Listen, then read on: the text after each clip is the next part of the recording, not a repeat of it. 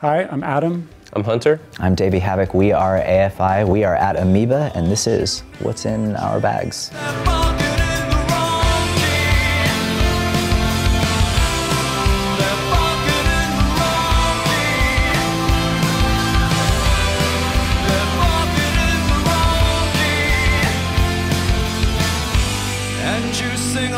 The record that immediately jumped out to me is a Nick Cave album. Henry's Dream is probably my favorite, but The Good Son is my second. The Ship Song is my all-time favorite uh, Nick Cave song.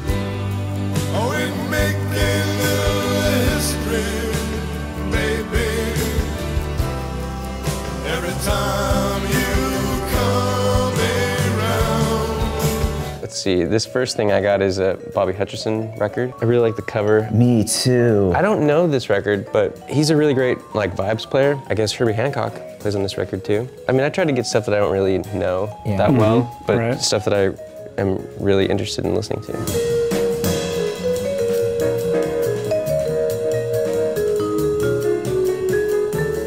I can pull out the Suicide record. What a rough past year we had because we lost Alan um, amidst other great, hugely influential artists. It's safe to say that we're all fans here of their work and this record, which is just so wildly ahead of its time and cutting edge in what they were doing with electronics and soundscapes and mood and, and creating darkness within this like minimal, crunchy noise, art sound.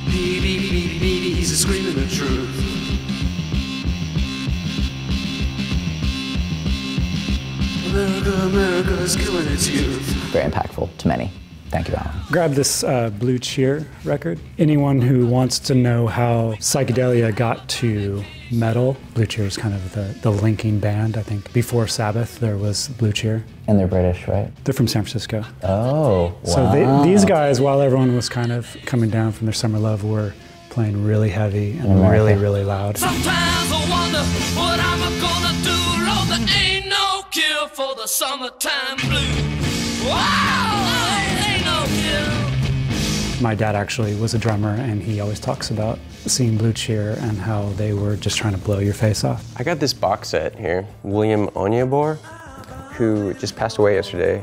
He was like a, a Nigerian funk artist. My girlfriend turned me on to him like only a couple months ago.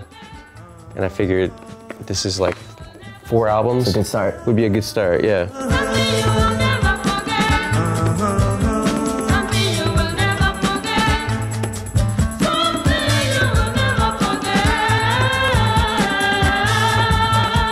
So this is the Sisters of Mercy First and Last and Always 30th anniversary edition of the 1985 classic debut LP and includes Black Planet, Body and Soul Walk Away, After Hours, and Body Electric. I mean, how do you walk away from this when you see it in the record store?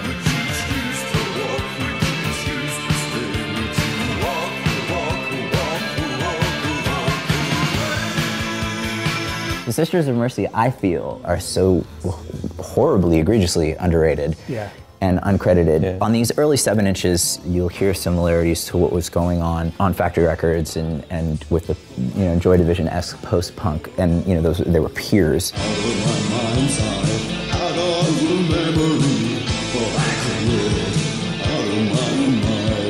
What they grow into on Floodland is so unique and, and so definitive. Just how lush and cinematic, yet hooky and rich and dancey it is, while still being very artful and very poignant. And Andrew's lyrics are fantastic.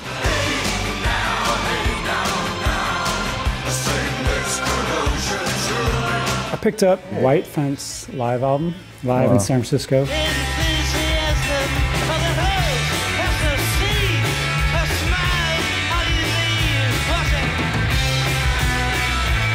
Tim is an old friend of ours from back when everyone lived in the Bay Area. I still live there, but we all lived in the same house at one point in Berkeley. I actually haven't heard this record. It's really hard to keep on top of what he does because he makes 17 records a year. But um, I especially liked his brother, this photo of Sean Paul Presley right there. So that made me pick this one over. As it will make you pick it. Yeah. Tim is so talented, talented in the fine arts, songwriting. He's been in many bands over the years, from the iconic Bay Area hardcore band, The Nerve Agents, to uh, Darker My Darker Love. My Love. Kind of everything he does is worth listening It's to, really in true. my opinion. So. Yeah, he's a true artist. And I can follow through, and I can be right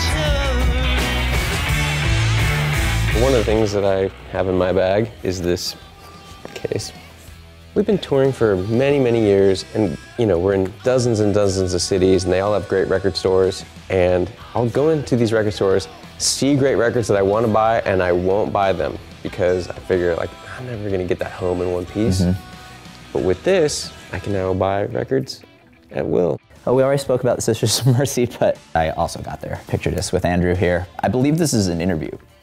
Interview picture disc limited edition. Oh, nice. We get to hear Andrew speaking, which, to be honest, I don't have a vivid recollection of ever hearing him speak. Now's my chance. It'll be great. Yeah. I imagine his voice will be like this. Probably not. I think one good thing about this new album is that you can't tell that I can't sing. I don't think my singing's got better, but I've got better at hiding the fact that I can't sing. You don't want to talk about that Rod Stewart? I do want to talk about that Rod Stewart. do it. oh man. Oh, wow. I mean, someone should buy this just based on the cover. Yeah. Itself. Is just However- fantastic. I'll go out on a limb and say this is the best Rod Stewart album. It has a fast side and a slow side, and I prefer the slow side. But it has I Don't Want to Talk About It, which is a great ballad. If I stay here, won't you listen to my heart? This is a great record. Yeah, it is. I'm torn if this or Remain in Light is my favorite Talking Heads You don't have to record. pick. Side A starts with Burning Down the House, and side B ends with This Must Be the Place. So, Ah. right? Everything in, in between is amazing.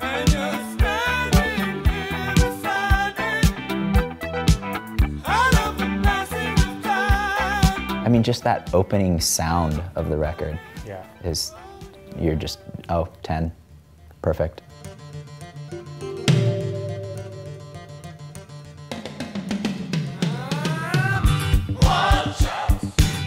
This is the first Spandau Ballet record. Spandau Ballet is great. I'm a fan of all of their records. This sits more in line with, I would say, the first two Modern English records, Mesh and Lace and After the Snow, and has a very heavy post-punk, new romantic tone to it.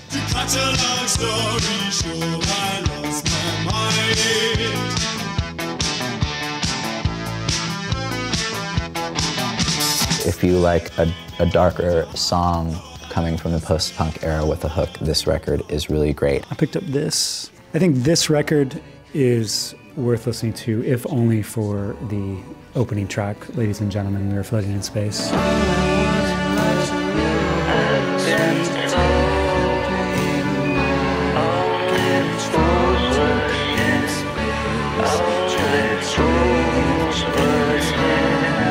Starts with one sort of musical moment and then slowly introduces another and kind of builds and builds up to this beautiful crescendo and then starts stripping them away and ends with you know kind of where it's the track started. If you have headphones and you really lock in like it's just such a great moment. It's everything that music should be and everything that we love about music.